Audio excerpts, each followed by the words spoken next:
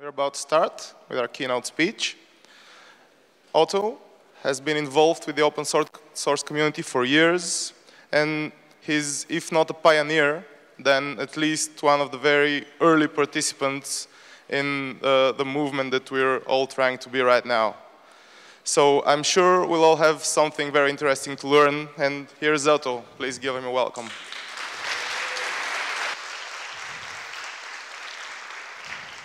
Hello, everybody. Do we have sound on? Yes. All right, so I'm Otto, and I'm going to tell you about collaboration, because that's what open source is actually all about. It could be maybe named collaboration source or something like that.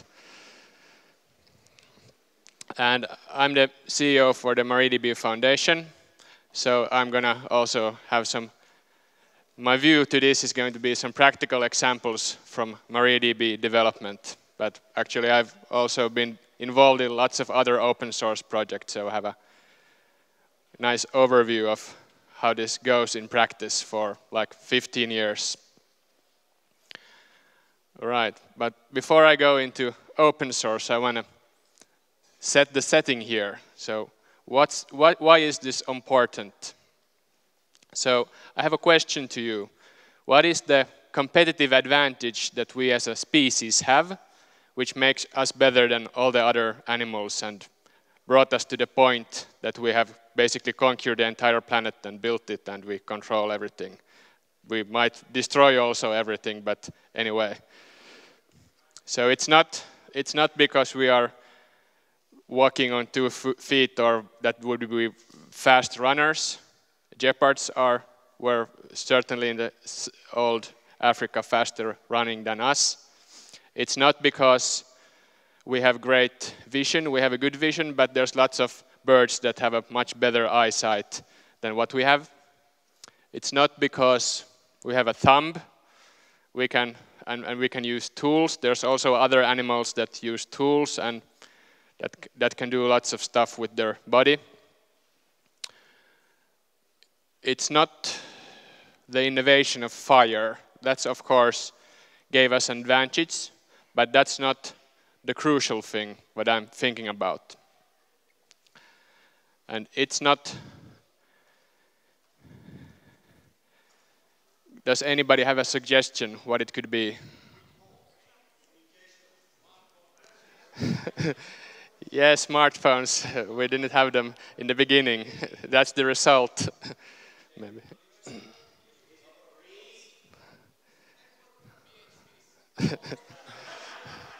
So language is quite close if I heard somebody yelling it. So, so yes, of course. Uh, so language is some, so brain size.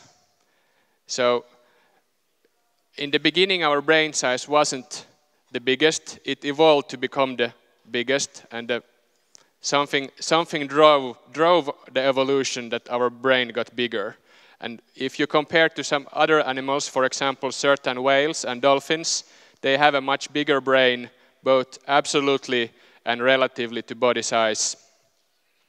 And then language is another thing that's already close what I'm thinking of. But actually many animals have certain kind of languages and for example again dolphins and whales they can speak from big distances of several kilometers underwater they can hear each other and they seem to have a quite complex language. But the thing what we have is symbols. So we can produce in our language, we can describe something, how something looks and where it is. And for example, I can describe that I found this food that tastes good and seems to be having good nutri nutritions and you can all go to this and this place by this mountain and then go down this hole and there you can find this food and eat it and it's safe. This is very complex information that we can do because we can convey these symbols from our brains to some other, some other person's brain.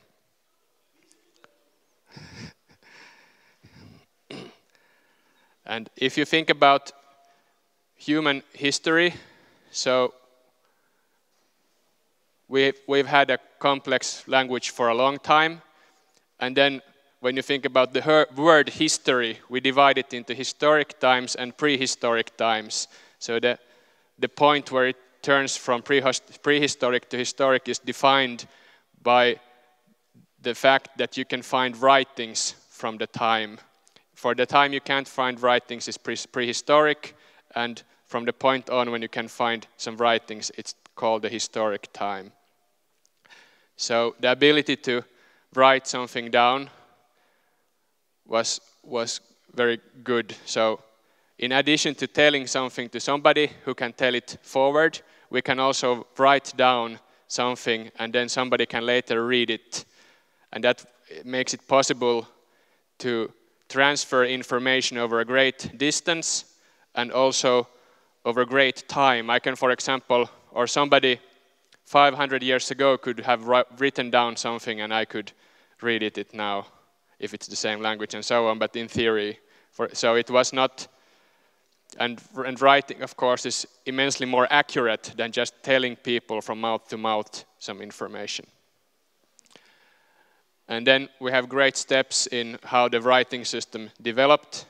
And when, we, when Gutenberg invented printed press, the whole Western society kind of jumped in big leaps, and we had the we came out of the dark Middle Ages and we got a new scientific period, and people got information about all kinds of things. When up till that point, the church and monasteries and monks controlled basically copying information and books. And and then in the 1900s, we got the radio and television, which made that we can broadcast information and symbols very quickly worldwide. And now the latest leap, of course, is the invention and, and proliferation of internet that's everywhere, that we can now do the communication in two ways. And in this environment, it's very exciting, at least for me, to participate in open source development because it wouldn't obviously have been possible ever before. So now we can live in the situation that we have some problem and we can solve it in software and then somebody can start, start writing a solution to that problem and then publish it and then basically anybody around the world can come in and comment on that or improve on it and if and certain projects have have kind of critical momentum that they come widely known and used in a lot of places and they also get a lot of lot of people collaborating and testing out and then contributing. So if you are working in a big open source project, you have fairly good confidence that what you are doing is the, the best possible solution available in humanity at the time.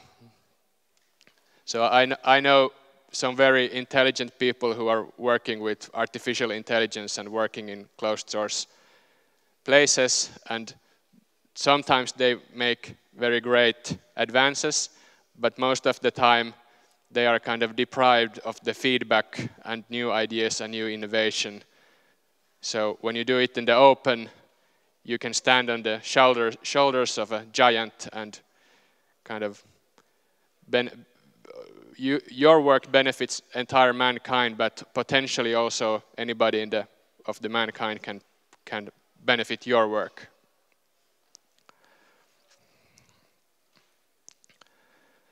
All right, so then to the open source topic more deeply. So I am, I am the CEO for the MariaDB Foundation, which is funded by the MariaDB Corporation. So these are two different entities. And then some other companies like Booking and WordPress.com that are heavy users of MariaDB.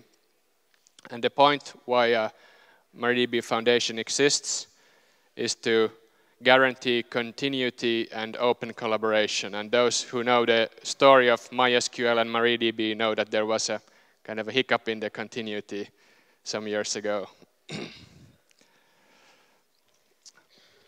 so now that in future it's not, it should not be possible for a big corporation to buy the project because the foundation has all the relevant technical assets to make new releases and and also all the copyright and, and immaterial rights needed to continue the license, to, to continue the project. And the foundation has six people working, and one of them is Monty Widenius, who is the original author of MySQL and MariaDB. And, and we don't do any bespoke development. Nobody can buy anything from the foundation. We just choose what is the best things to do for the general public, and then we focus on those, those tasks. For example, porting and packaging, which makes MariaDB available to more and more people and platforms. And it's obviously the single point of collaboration for anybody who wants to develop the MariaDB code base. And uh, even if you don't do much, the fact that you are a single point of contact means that that's, it, that's a point where people can gather to and collaborate. Right, so it's all about open collaboration to be inclusive and enable that everybody can participate and contribute. That's why we're separate from the company because the company staff has other priorities and they need to stress about sales and stuff like that, which we don't need to care about. We just exist to be the place for collaboration. Right, so this is open source. So just a quick recap of what the principles in open source and free software is. They are, they are the same. They are synonyms in, in practice. They all, as any license that is open source is also free software. But I, I like to use the term open source because there's less people who misunderstand what it means. So the definition of open source, it has four things that need to apply. The first is the freedom to use, that you can get the software and you can use it freely without any restrictions of if it's commercial or non-commercial or what country you are in or or what religion you have or whatever. There can be no restrictions. Then you need to have a freedom to study. There is no no laws or no, no, license clause that forbid you from studying how the software works. And in practice, to be effective in studying how the software works, you need to have the source code, obviously, so you can read the code. Then you need to have the freedom to improve, which means that you need to have the freedom that you can make new versions of the software, and you need to have the freedom to redistribute either the original software or the modified one that you've improved, whatever you want. So all of these freedoms need to apply if, they, if if even one of those fail, then the license is not open source. And note that these are all freedoms, they are not obligations. So open source is about enabling that something can happen, but it doesn't guarantee that it happens. There are no obligations that something must happen.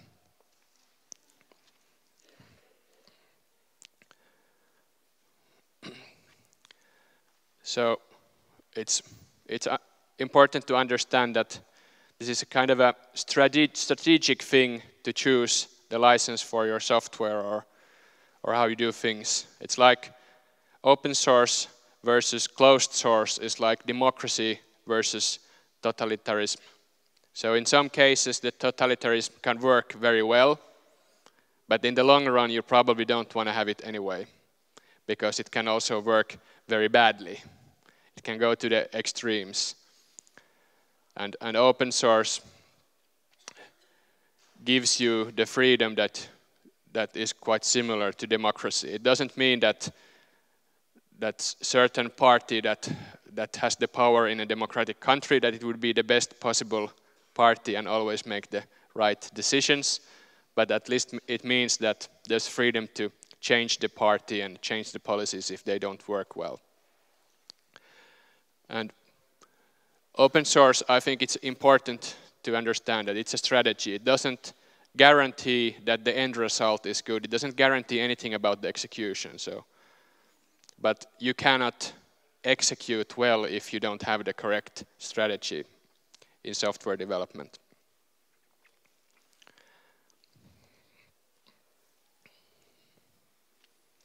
And of course, when I talk about collaboration, open source in software is the requirement that collaboration can happen. Without open source and proper open source and using licenses that actually give all, the, all these four freedoms, you are not likely to have collaboration.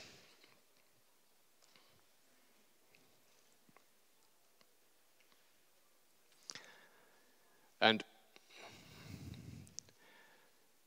for example, I've seen many times some closed source company that they have a closed source product and it's not going very well for that and they're not selling it much and then they decide to open source it. So most of these cases it it doesn't it doesn't go well because the strategy is maybe correct at that point but the execution has already gone bad for a long time ago so nobody will come up and even if you even if you open source your software, it won't attract people who suddenly come up and fix your bugs and clean up your code. That doesn't work. You need to when you have an open source, you you need to have the process going on for a long time to have the benefits happen.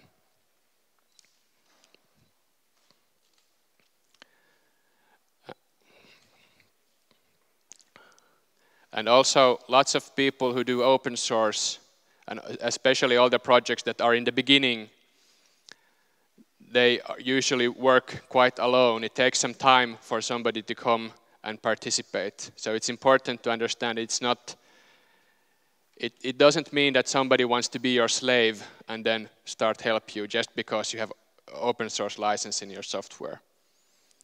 So the motivation is something else and you need to understand it's always about giving and getting something.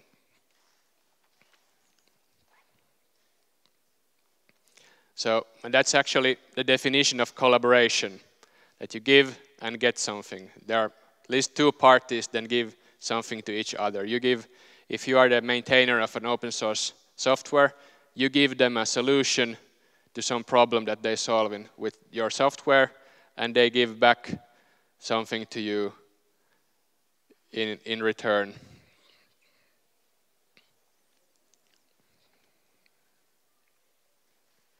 All right, so what forms of contributions are there? It's not just about the code. The code is obviously the, the most explicit one, but also merely having feedback from somebody of, of, some, of if your software works or doesn't work or how it could work better, that helps you improve it. And uh, in software development, testing, for example, is a very big part. It's hard to do well and it's hard to automate. And the fact that you have a lot of people using your software is a good testing process in itself. And then, for example, translations. Few closed source software have as much translations as the open source soft, big open source softwares have. So that's very common for open source software that if it gets popular, then people around the world are starting tra to translate it into different languages so that it's more convenient for the fellow countrymen of that person to use it after that. And documentation, obviously, and documentation done by somebody else than the original developer is usually much better. And documentation is also good for the person who is writing that documentation because they they they benefit a lot of it themselves that they have the documentation available and they can trust the software much more and use it, implement it more in their systems. And of course, graphics and design, it's often overlooked, but that's an important part also of contributions and, and marketing and advocacy in general. And in the Linux ecosystem, packaging the software and distributing it into Linux distributions is also an important part of the of the ecosystem because otherwise you will have much less users of your software. And every time you use some software and you come across a bug and you report it. If you report it properly, then you are doing a very valuable contribution. So please continue writing bug reports and try to write them as well as possible. And in MariaDB, I did a little check in the Git log about who is contributing code, and there's a lot of lot of people. There are private people, and then there are people who's working for big enterprises and companies like Google and Facebook and Twitter and so on. So when you think about why these persons are contributing, some are contributing because the employer wants them to contribute, some are private persons, some are academics who contribute because they solve some, something in their own life. So think about who, who your contributors are and what they do is obviously important. Understand that they are not slaves who come there just because they want to sub submit themselves to your, you and start working whatever you want. They only do stuff that they have some benefit in themselves. They are always scratching their own itch. I like this term a lot. So, for example, let's say somebody in a web hosting company is using MariaDB, and then they come across a bug, and then they file the bug, and Nothing maybe happens because the bug might be difficult to reproduce or it might be difficult to fix or it's not, it, it might be something that other people are not experiencing. So then the web hosting company might decide that, hey, that this needs to be fixed and we have some people who have extra time and they have the skills to write the code. And then they investigate and they fix it and they make a patched version of MariaDB and start using that instead. And then the thing is solved for the company. So why does the company then decide that their employees need to spend more time and submit the patch back upstream? Well, the reason is quite simple, because every, uh, with regular intervals, there are new versions of MariaDB coming out.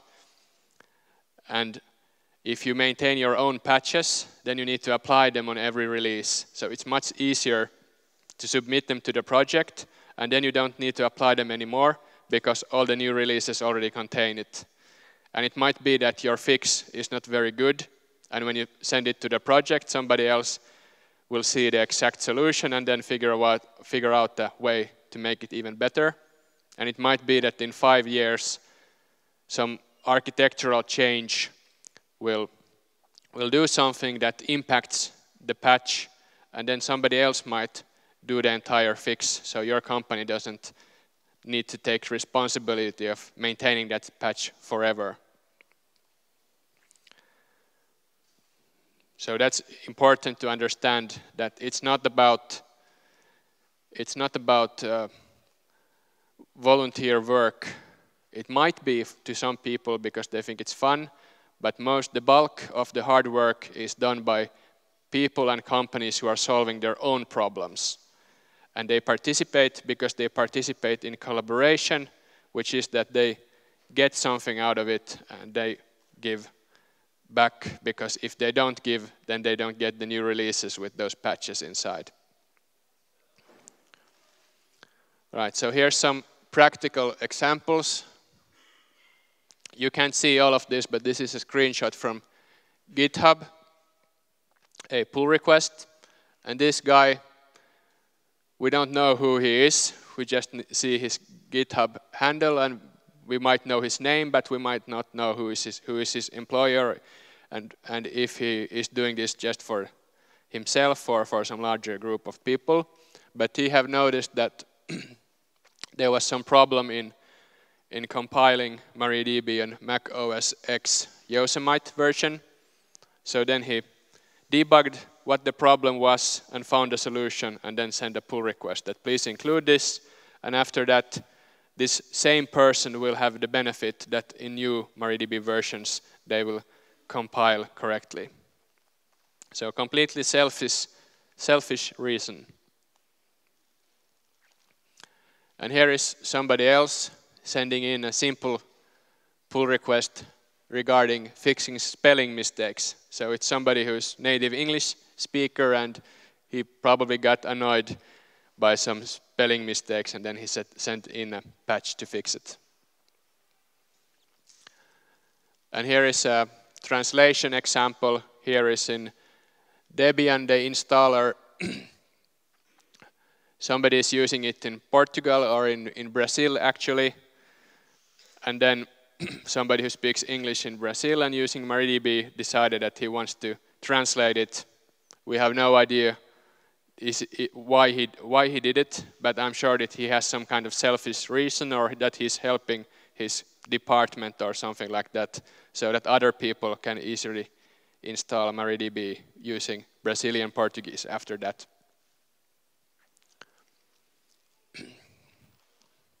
and here's a, a developer meetup we had a few weeks ago in Amsterdam. And I think that most of the people who attended, th those people we got, got to learn about. So they, most of the people worked for some company that does some cloud service or something, and they use MariaDB for the database, and then they participate to influence the direction where the project is going.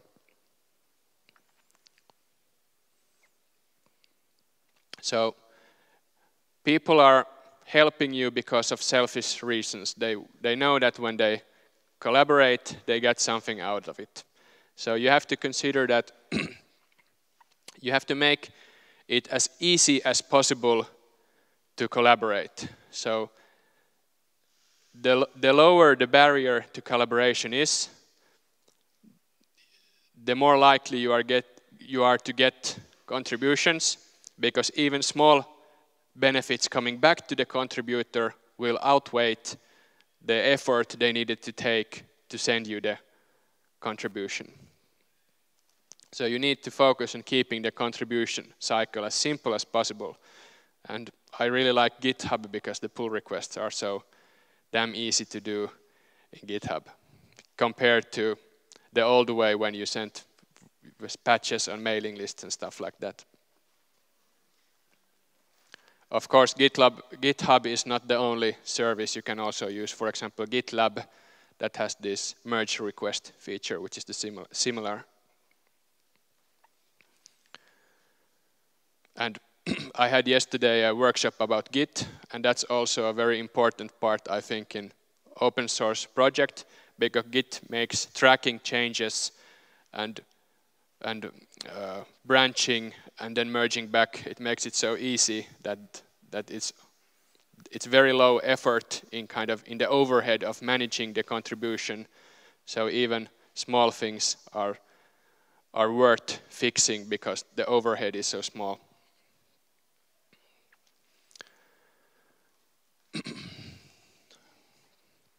so here is this, this example is from Docker, where I made a pull request on Docker, and they have a very, very, very smooth system to accept contributions. So they have all this continuous integration integrated into the pull requests, and they and it tests not only that the test suite uh, passes, but also that the git commit and message and copyright attribution and everything is correct.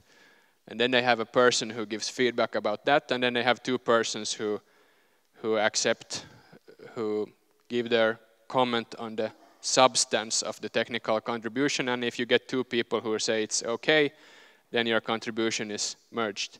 And I think Git, I mean, uh, Docker has like 30,000 pull requests in, on GitHub so that's they have very good workflow on that, and that I think that's probably one of the reasons why they get so so lot, so many contributors. This is from the screen. All right. So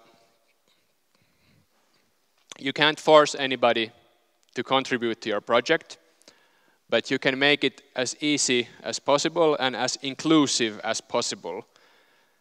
So if you're not inclusive, then you are closed or working in, in secrecy or something. You shouldn't do that. You should be as inclusive as possible.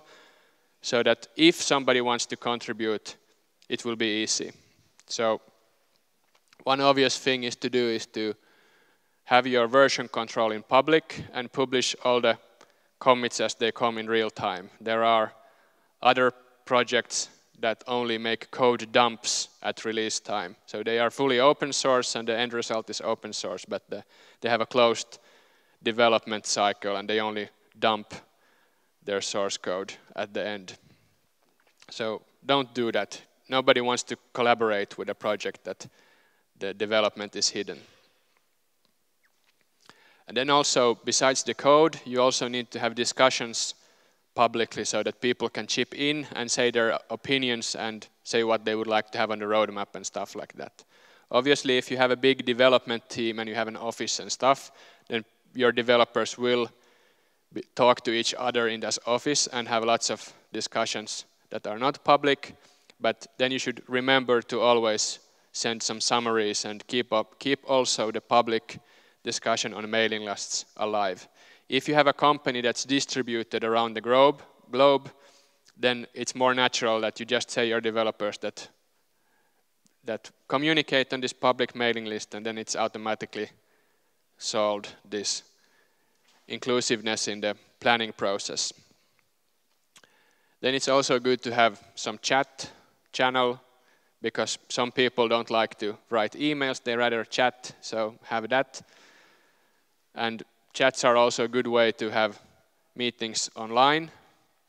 And obviously, some people don't like either mailing list or chat, or they need they they are afraid to go there initially. So also you need to have face-to-face -face meetings where people can get to know each other and then after that, it's much easier for them to participate in the discussions. And then obviously you need to have a public bug tracker because otherwise you will not get bug reports. And you need to keep the work of solving the bug also public so that the people, the person who originally reported the bug can chip in and give more debug information and also that other people who are experiencing the same bug can perhaps come in and help with solving it.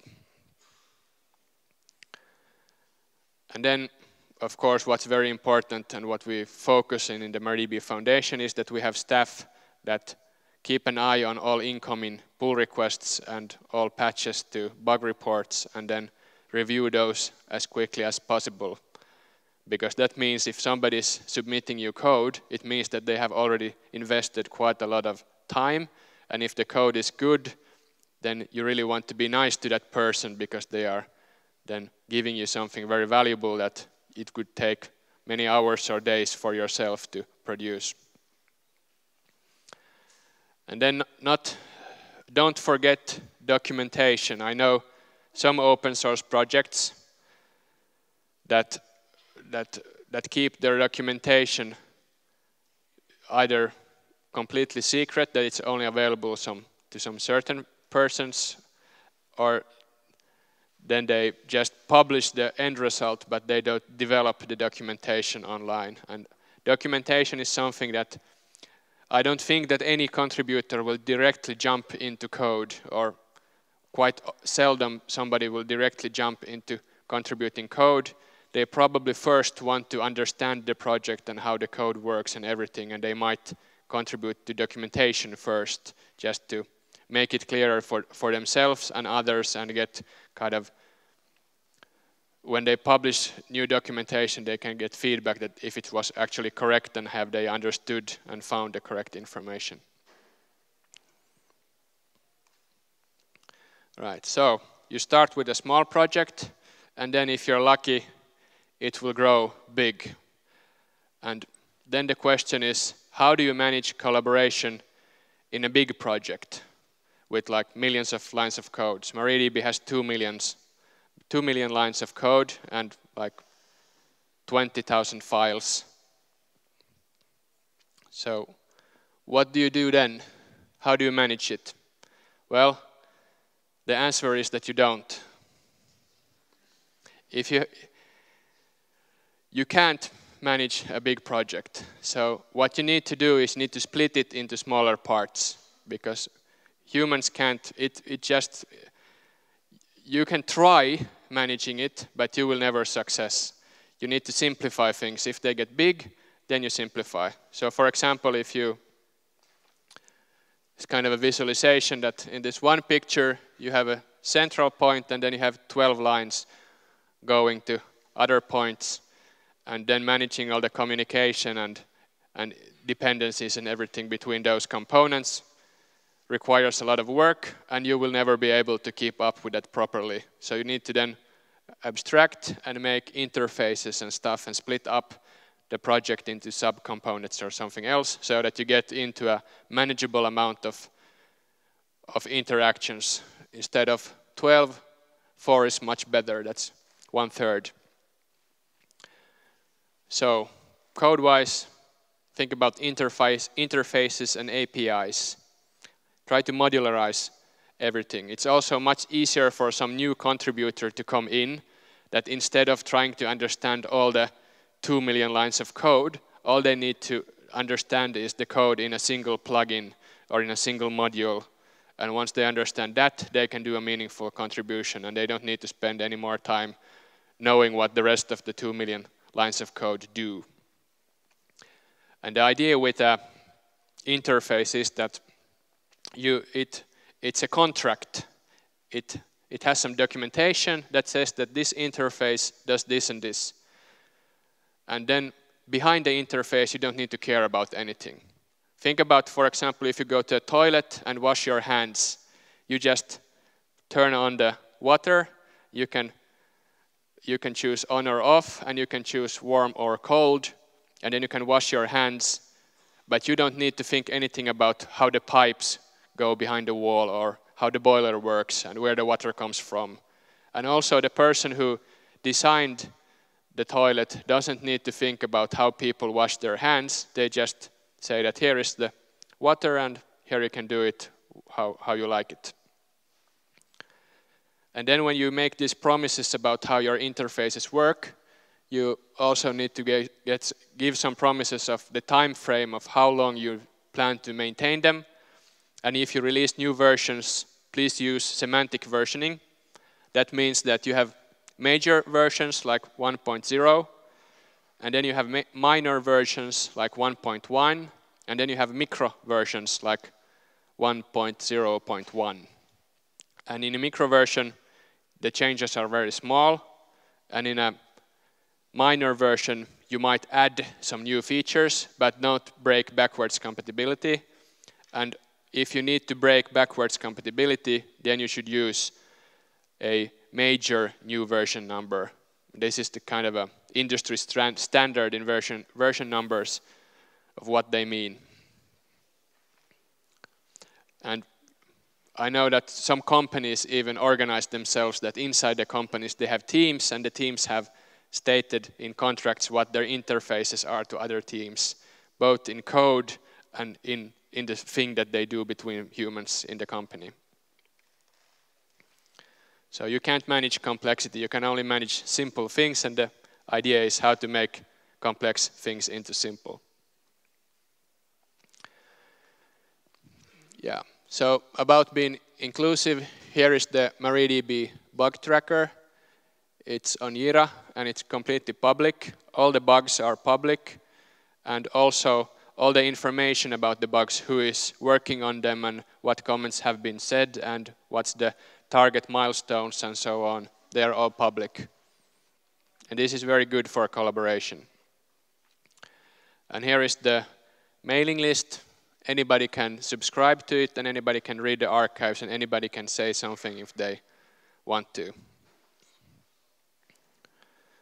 And there are also specific outreach projects that help you get more contributors. For example, Google Summer of Code is a great example of Google who is sponsoring students that if they want to work on an open source project, then they get a mentor who will help them from the project, and Google is sponsoring this activity. All right, so this was the basic rules for collaboration. So what are, what problems can you have? And obviously, one of the big problem is that you get too much collaboration. Too many people are interested in your project, and then they just create noise, and it might be hard to find what are the actual contributions that you want to have. So what you want to have is kind of talented people making good contributions and not just people filing bugs on your bug tracker, which are actually support requests, and, you, and there's not much you can do, on, or if you there's nothing you can do in the code to solve that, or or the impact if you just start helping sing, single single individuals will be low. So the solution to this, I think, lies somewhere in continuous integration. That, for example, in the pull request example I showed, there is automatic testing using, for example, Travis CI, which is free for open source projects. And in MariaDB, we have this custom build bot system that runs a lot of tests on, on the code. So you can use this to automatically test all incoming contributions and patches to see if they at minimum work. And if you, if you find a problem that the computer can spot automatically, then the computer can report back to that person that your contribution is not good enough. Please keep working on it. And no human needs to spend time on it, on reviewing it, until it passes at least the automatic tests first. And then the big opportunity, why you do, why you want to have a collaboration is I like this phrase a lot. Given enough eyeballs, all bugs are shallow. So basically comes back to what I said in the beginning. If you have a problem in the real world and you can make a solution for it using software, then if you do it in the public, you potentially have the best solution in the world because other people who want to, who have the same problem in their own situations will then try to solve it and then contribute to the process. And then you have a kind of an evolution that, that the solution gets better and better the more people use it and the more people contribute to it. And don't forget that collaboration is also fun. So doing it alone or in a small team in a company using some closed source stuff, it gets boring quite quickly. But when you do it in the public and you do it open source, you have a lot of open source conferences and meetups, and it's much more fun. And it's really great to wake up in the morning and open your email, and you see some person from some remote university who has, who has a new solution to something, and it's very exciting. And in general, working in software is really cool because if you think about the symbols I, I talked about in the beginning, so they are kind of a way to extend our memory beyond our brain. So when we write up something, we don't need to remember it anymore. And it's very accurate, and then we can put it back into our memory by reading it from the paper, or we can give it to somebody else who can then read it and get the information into their head. And I think that software is so exciting because it's basically about outsourcing your thinking not just the memory, but the thinking process out of your brain, and you express it by writing some kind of code. Actually, it can be software code, but it could even be some kind of policy or law or some other kind of code that codifies human behavior or some process. You write it out into code, and then you have a process that's stored somewhere, and then you can take that process and run it somewhere. And then that that process can be improved and improved and improved, and it will rapidly accelerate the entire mankind how we develop forward. Thank you.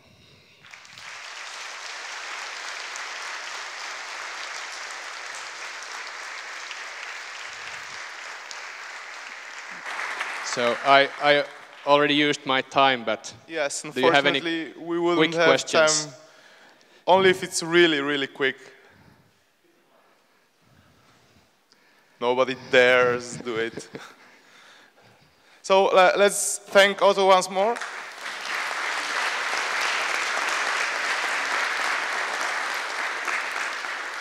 and find him, talk to him if you want uh, here at the after party. And right now, uh, I urge you to stay in your places because we have a closing ceremony. And if I may invite the team to enter. Or not. Magic. While the team is working here, I would like to thank all the organizers that this has been a really great event and it's, I'm very glad to see so many people here and so many people who are excited about what they're doing. That's very important.